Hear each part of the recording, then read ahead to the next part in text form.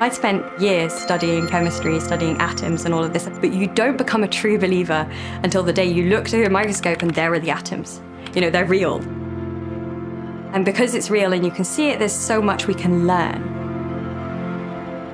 The Electron Microscopy Center at Utrecht Science Park is a new center where we have a whole suite of really fancy electron microscopes to study materials and life at a really fine resolution. So the Electron Microscopy Center houses all the electron microscopes and was set up so that users can easily access the instrumentation for their research.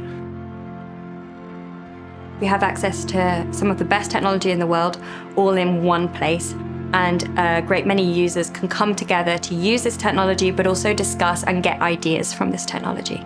And it's really started to revolutionize the way that we're doing research here.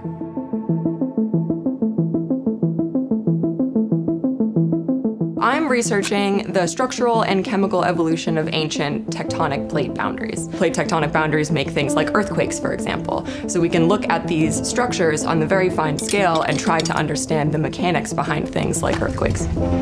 Every single rock that I pick up in the field is like an Earth history book to me. So with the toolkit that I have, like using the Electron Microscopy Center, I'm able to dig into the details to understand what Earth's history really has in store.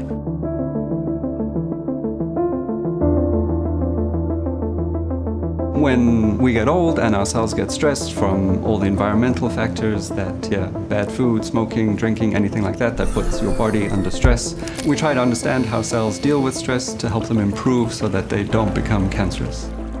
There's so much going on in the cell, and we have no idea what most of it actually looks like. So the fragments we are able to visualize and study. That is the great thing about microscopy.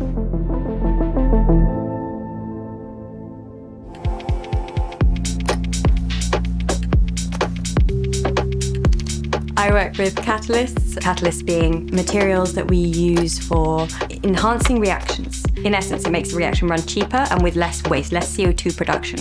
Almost everything in this room, everything you own, your breakfast this morning was made from a catalyst, uh, so they are absolutely essential. Now we're starting to use these electron microscopy techniques to actually understand what makes a good catalyst. Why is this one working better than that one? This place is unique because we have so many different types of microscopes that are able to image materials at a range of resolutions and a range of spatial scales. And the suite of instruments that we have here is unlike any other in the world.